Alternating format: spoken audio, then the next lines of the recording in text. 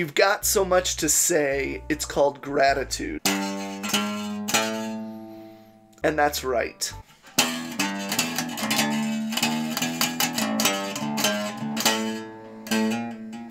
God, I miss the Beastie Boys. I've been struggling a lot throughout this year, and as it's marched on towards December, I am scared. I'm hurting and find it really difficult. I can't bring myself to think of the end of this month, let alone December and the holiday season. The Lord's Prayer has become this daily meditation for me, especially the part that says, Give me today my daily bread. I've talked a lot about bread and breaking of bread and communion and what bread means to the anarchist.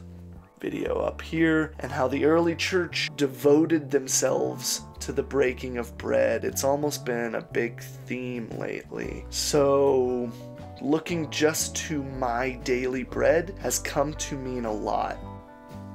Especially when I'm really scared about tomorrow's bread or next month's bread. And here comes Thanksgiving this week. Anyone else find it incredibly difficult to be grateful this year? To gather round and commune?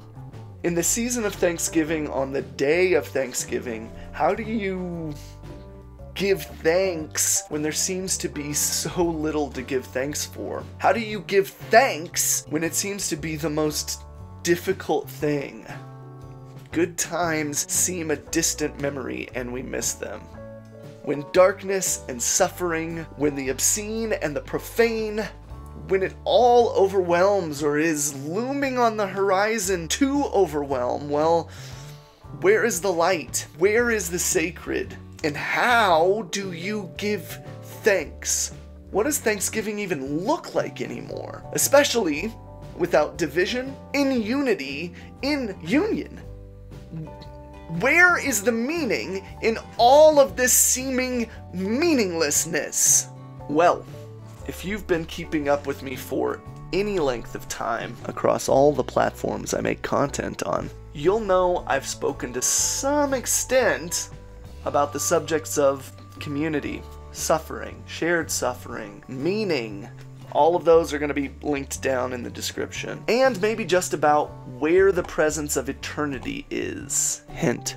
It's here and now, if only you just look for it. However, I was asked recently about what my thoughts were on those who are worthy of inheriting the kingdom of God. And while I gave a pretty stream of consciousness answer to a very heavy question, as I'm prone to do when I'm thrown a question that I don't and haven't already thought of yet, I've got to be honest, it's weighed on me since being asked, particularly in light of not just the Thanksgiving holiday, but the holiday season itself. Who are worthy of inheriting the kingdom? At first glance, I think it's easy to reduce this answer into doctrine and dogma, and by doing so, completely miss the meaning. The kingdom of heaven, the kingdom of God, where God dwells? Nothing impure, nothing shameful, nor deceitful can enter it. That's what Revelation 21 27 tells us. It is a place consecrated, set apart, holy, sacred, sanctified. Sanctified.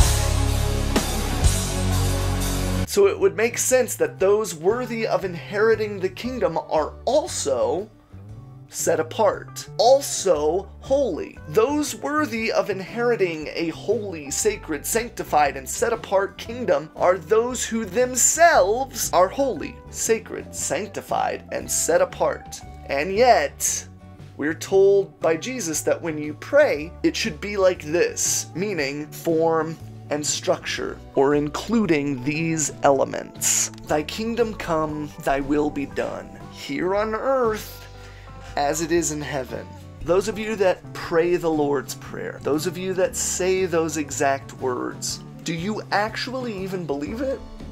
Do you actually mean the words you say when you say them? Are you looking for the kingdom come here and now? Not as something someday that'll come, but here and now. God's kingdom come here and now on earth as it is in heaven.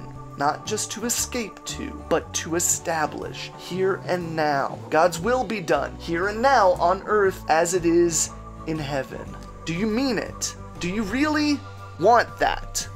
And if you do, what is this kingdom that we're asking to come and be here and now? What is the will that we're asking to come and be here and now?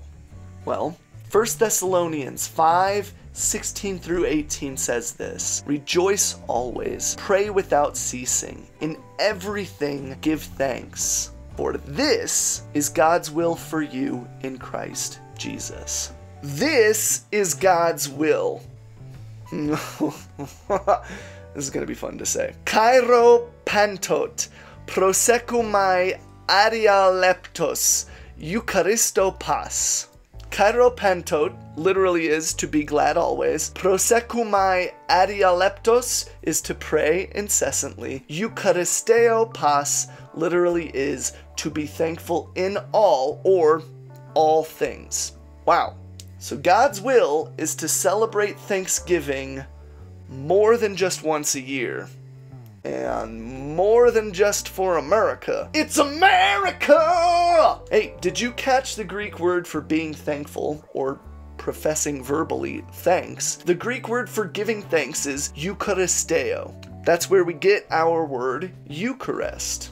If you're not Catholic, the Eucharist is the holy tradition of transubstantiation, begun by Jesus and his apostles at the Last Supper. Transubstantiation is when priests turn bread and wine into his real presence, his body and blood. You may think of it as communion, and I've been talking a lot about it lately the sharing of communion, of drinking wine and breaking bread. Again, just watch all my other videos or check out all the platforms I create content for. Now, I'm no Catholic.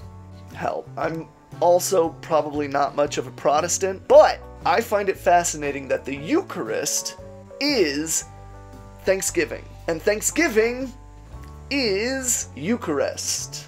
And partaking in it, according to that verse from Thessalonians, is God's will. Maybe the Beastie Boys were right. What's gonna set you free?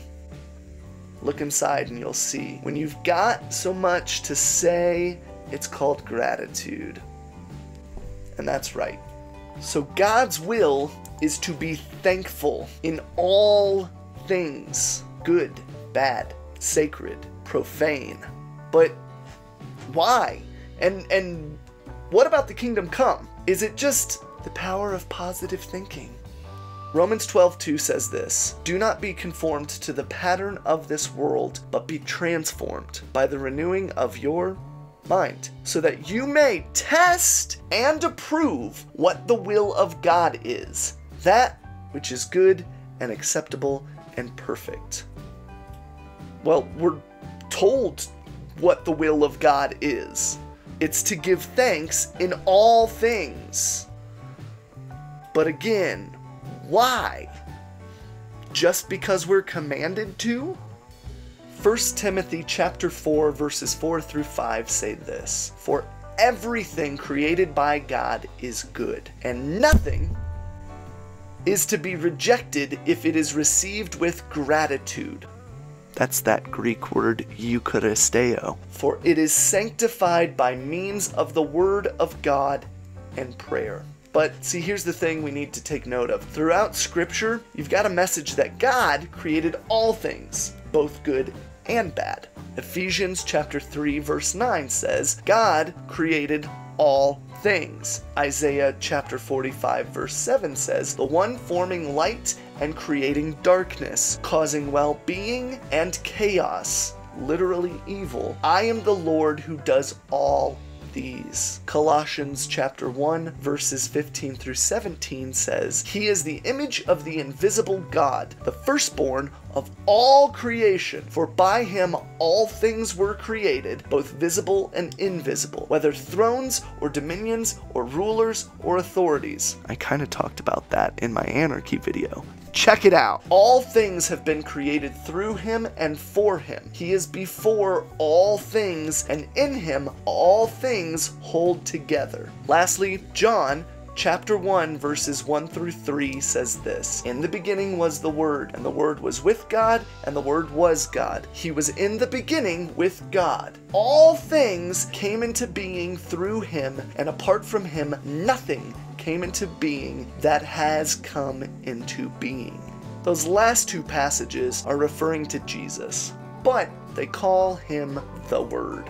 It's kind of funny how most Christians these days are guilty of committing the atrocity of equating the Bible itself to the Word, even though the Bible itself never refers to itself as the Word, but in fact always refers to Jesus as the Word. Almost like idolatry of the text itself. But I digress.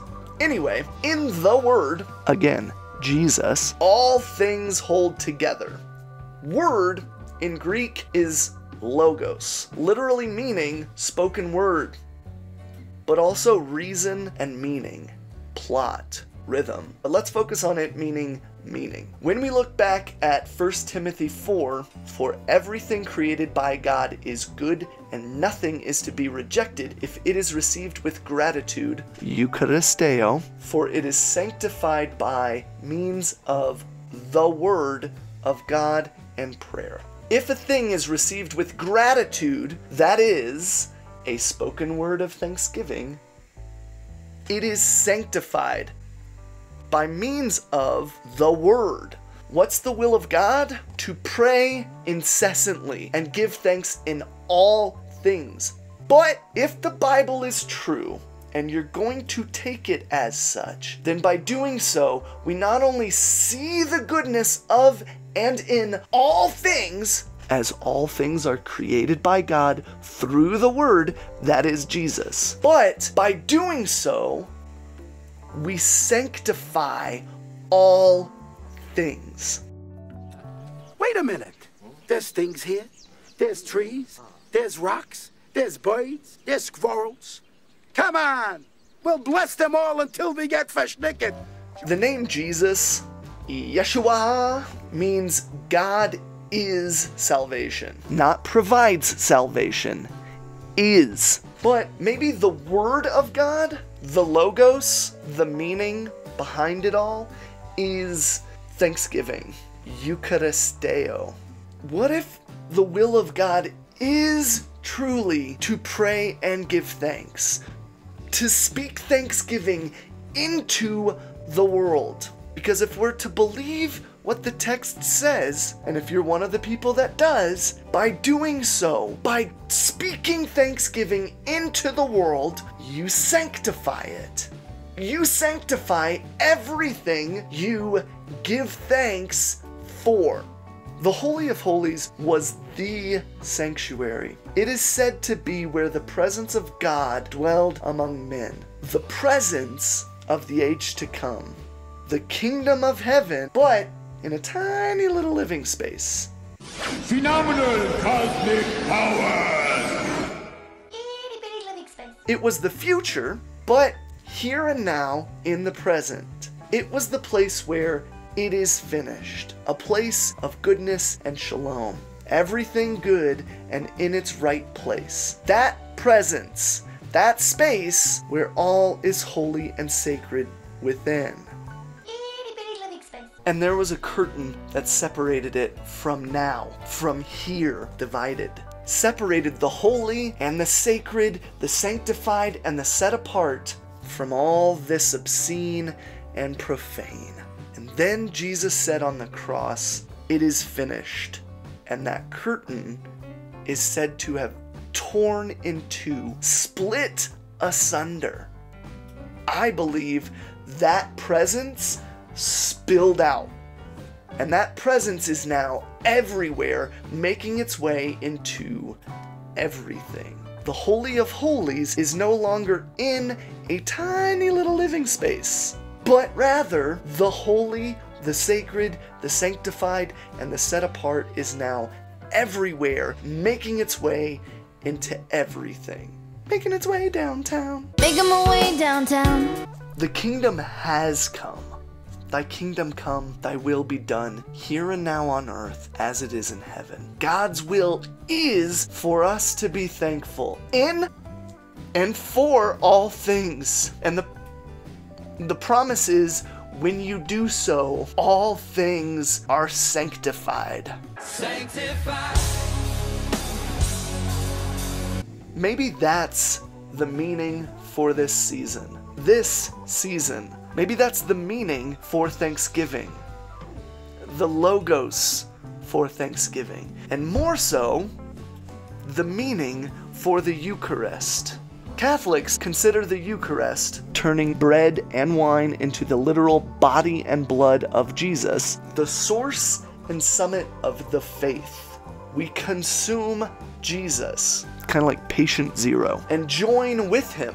I've talked about what communion represents and how when we gather around the banquet table acknowledging both the suffering and the lack inherent in the human experience, the incompleteness that is an existential, ontological fact, we truly find meaning and connection. Maybe part of that has to do with the fact that the definition, the meaning behind the Greek word Eucharisteo is to give thanks. It's not just to be thankful for Christ, it's that in doing so, we're engaged in the sacred. In giving thanks, we're participating in the sacred. And the sacred, according to the text, is Jesus. Yet the sacred is giving thanks. You see, according to the biblical text, the word is not only what makes things sacred, it holds all things together. And when we partake in communion, in the Eucharist, we partake of Jesus. And when we partake of Jesus, we join him in giving thanks for all things, creating all things, and ultimately sanctifying all things. So, who is worthy? Who's actually worthy of the kingdom of God? Well, if you're to believe the text, then only the holy, the sacred, the sanctified, and the set apart. But guess what? If the scripture is true and you are to believe it, then you can set apart all things. We can set apart all things, make them holy and sacred through our thanksgiving. We can sanctify all things. Through our thanksgiving, we can sanctify all people. And as such, all things in thanksgiving are worthy of inheriting the kingdom of God, the kingdom of heaven. All people in thanksgiving are worthy of inheriting the kingdom of God, the kingdom of heaven, including, but especially, the things we might not find worthy. Maybe the people we don't find worthy. Maybe the politics we don't find worthy. Maybe our pain, our hurt, our lack if we come to the banquet table with all our suffering and all our lacking, all our incompletion and all our hurt and suffering, and if we allow others to do the same, well, then we don't do away with any of it, but instead we make it all worthy. And maybe that, in making all things worthy, in giving thanks, maybe that is the kingdom. And maybe more so, that's the kingdom come. It's already here. Now, you just need to see it and live it. Thy kingdom come, thy will be done on earth as it is in heaven. Well, if it's already here and now, it's already a reality. See it. Give thanks. See the kingdom. Sanctify all of it. After all, it's called gratitude. And that's right.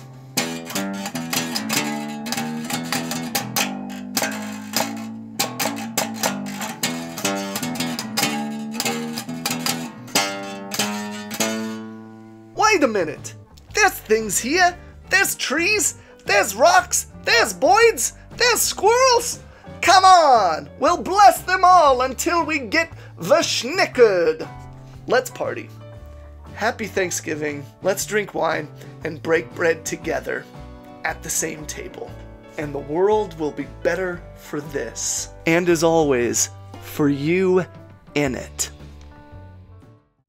Thanks so much for watching. I'd really appreciate if you helped out my channel by doing all the things that the YouTube algorithm loves to be done with videos. You know, like comment, share, drop me a like. If you're new or haven't done so yet, I'd love for you to subscribe for more content. And hey, consider supporting me and my family on Patreon. There's a Discord server over there, unedited content, and I think it just serves as a decent outlet, at least for the time being, for the community I'm hoping to build across all platforms, boundaries, and borders. I hope to see you there and to get to know you better. Either way, have a wonderful day and just know how much your life matters.